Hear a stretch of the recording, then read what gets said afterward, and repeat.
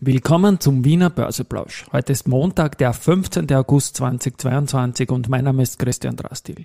Und wenn an einem Feiertag wie heute gehandelt wird, gibt es auch einen Wiener Börseplausch. Das Motto ist wieder Market and Me. Market and Me, podcasting for equity.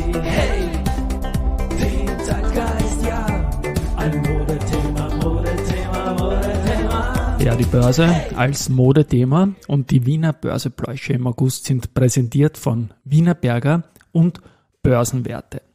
Ähm, ja, blicken wir gleich mal auf den Markt zu Christi Himmelfahrt. Wie gesagt, es wird gehandelt. Ich bin dann wieder sehr gespannt, wie die Umsätze am Abend ausschauen. Das waren zuletzt an Feiertagen eigentlich gar nicht so schlecht. Auf jeden Fall, der Markt ist mal auch nicht so schlecht.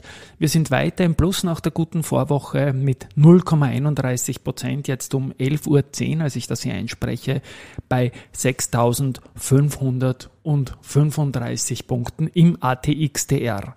Auf der Gewinnerseite haben wir die Rosenbauer mit plus 3,01 Prozent, zu der komme ich noch.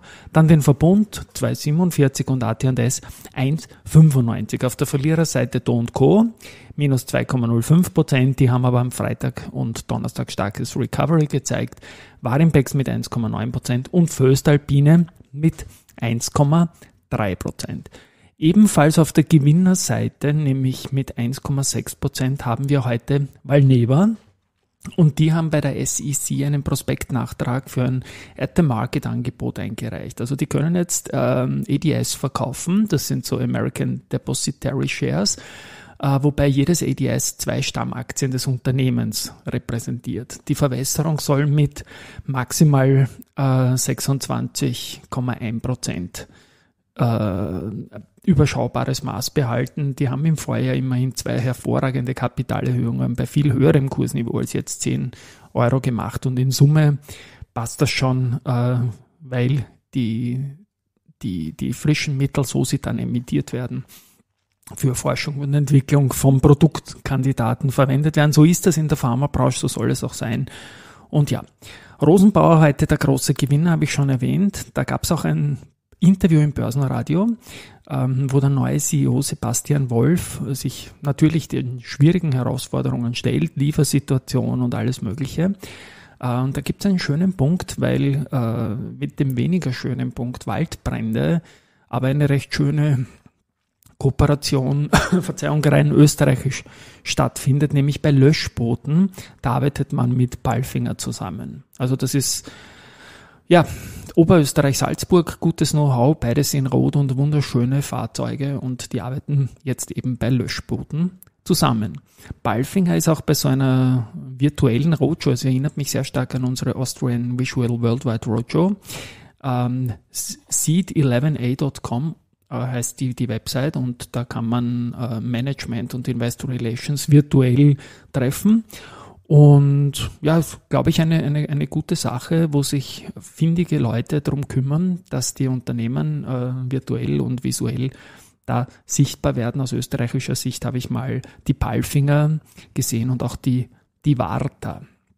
Eine ebenfalls schöne Sache ist das Raiffeisenbank International. Da hat das Equity Sales Team eingeladen, die Leute der Post, die das Aktienführungsteam vom CEO abwärts. Und die haben das dann auf LinkedIn gepostet und dürften sich da sehr gut ausgetauscht auch haben. Von der RBI war dabei der Klaus Della aus dem Handel.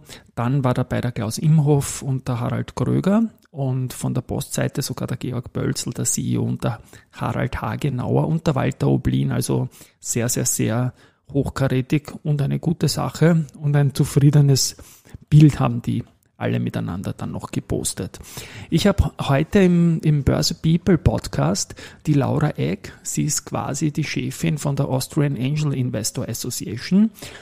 Und die hat äh, auch eine Beteiligung im Startup-Rat oder Beirat der Regierung beim Arbeitsminister Kocher. Und ich sage halt bei der Gelegenheit, es wäre schön, wenn wir auch so einen Beirat wie Börsianer hätten, rund um den Finanzminister äh, Magnus Brunner, ich wäre da sofort dabei. Natürlich den Podcast mit der Laura Eck werde ich verlinken.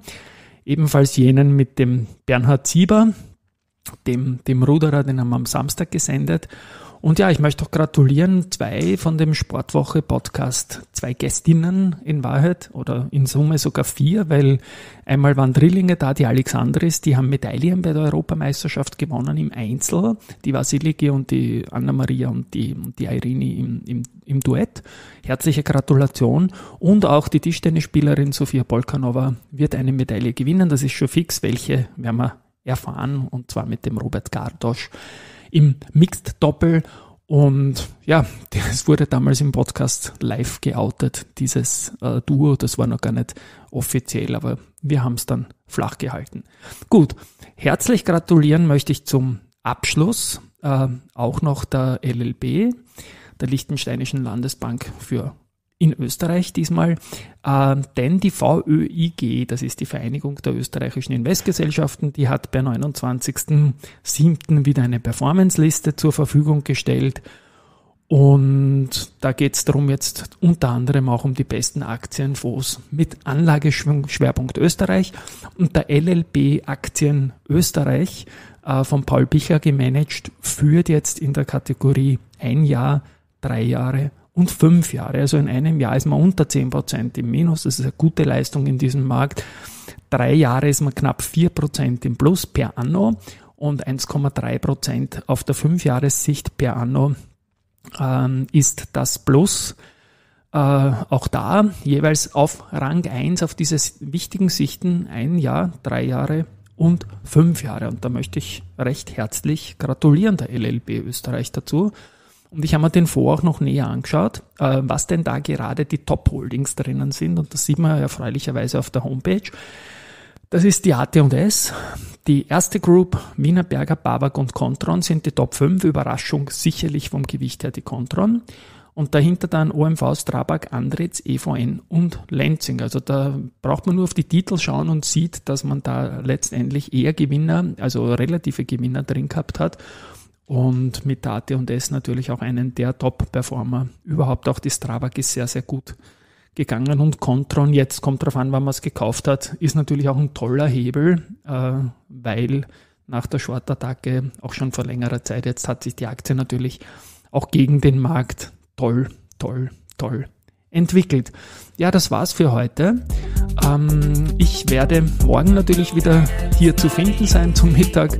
Freue mich auf einen spannenden Nachmittag heute und wir hören uns morgen wieder. Tschüss und Baba.